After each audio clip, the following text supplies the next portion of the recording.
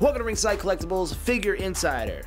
Dallas, Texas, 2016 WrestleMania 32, the biggest WrestleMania in history. We had an epic match between Triple H and this man right here in Mattel's WWE Series WrestleMania 33, Roman Reigns. Dun, dun, dun.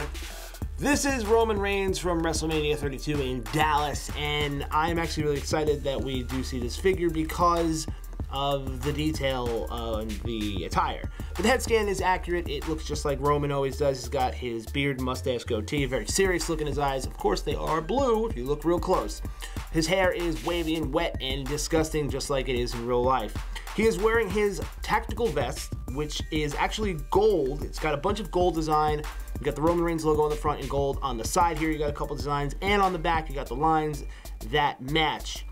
Moving to the armbands here, they are awesome because they do have the same golden design that you see on his tactical vest, and um, I dig it. Moving down, he's wearing his boring and black tactical pants, um, but I am excited again about the top half of this. And closing it off, he does have on black boots. Maybe Roman Reigns will start to change his attire at some point soon, although that might be a little weird. Either way, relive WrestleMania 32 with this Roman Reigns. Pick up all of Mattel's WWE Series WrestleMania 33 from Ringside Collectibles WrestlingFigures.com, home of a large selection of wrestling figures and accessories on the internet.